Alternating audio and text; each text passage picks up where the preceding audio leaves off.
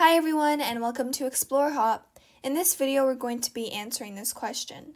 What is x in 3x plus 4 equals 42? So our main goal here is going to be isolating x. And in order to do that, our first step will be subtracting both sides by 4.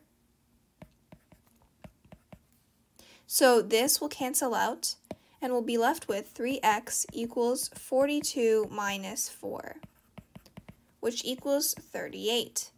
Our next step is going to be dividing both sides by 3 and that therefore will cancel out the 3 on this side. So we'll be left with x equals 38 divided by 3. And our answer at the end will be a decimal.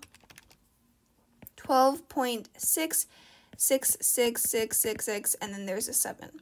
So because we want to get a def definitive answer, we're going to round it. So our final answer will be around 12.67. There you have it. That's your answer. Thank you for joining us, and we'll see you in the next lesson.